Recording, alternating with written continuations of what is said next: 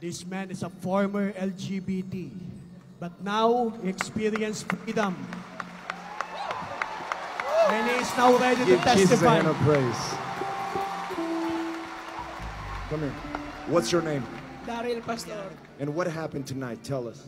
Before, I have a lot of struggles and distraction from the enemy. I got 35 boyfriends before, and then they are saying that no one can change you. I thought um, I, I'm gonna die as an LGBTQ members, but a while ago I saw myself preaching to the LGBT, that's testifying the Lord that He is good, that nothing is separate.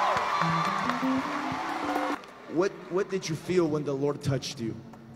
Feel the fire inside me that you after this I will never be the same again.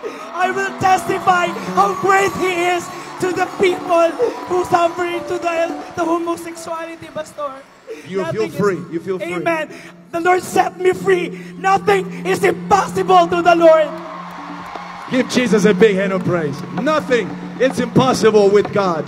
Lift up your hands. Fire.